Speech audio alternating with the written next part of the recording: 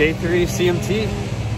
Let's get it started. Got a vis beams all bagged up, gotta unbag those, gotta get this ground package built, get uh, follow spot towers up, and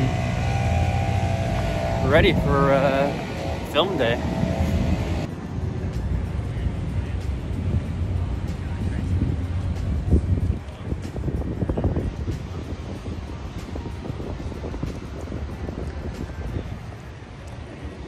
So I haven't really talked much about the follow me spot system. And basically what the system allows us to do is to take any fixture in our rig and turn it into a spotlight.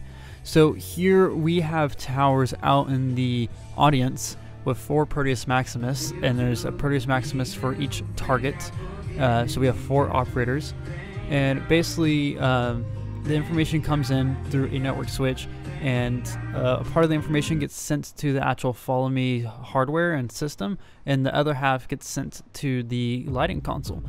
Uh, so that way the lighting console can control stuff like color max intensity gobo uh, whatever right?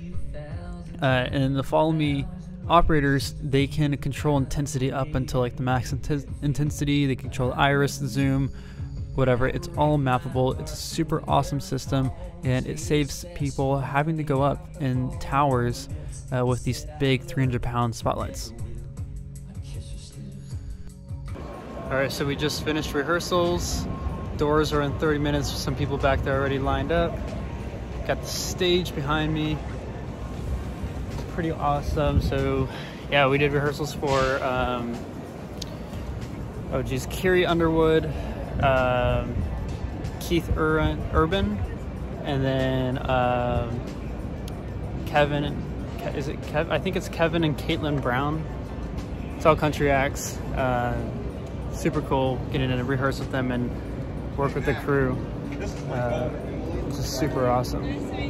So yeah, we got the camera rigs all set up and uh, yeah, we're gonna have a live audience for this shoot. This is a pre-recorded shoot, right? So it's going to air, uh, I think later this weekend. But yeah, so you got the big camera rigs there, over there.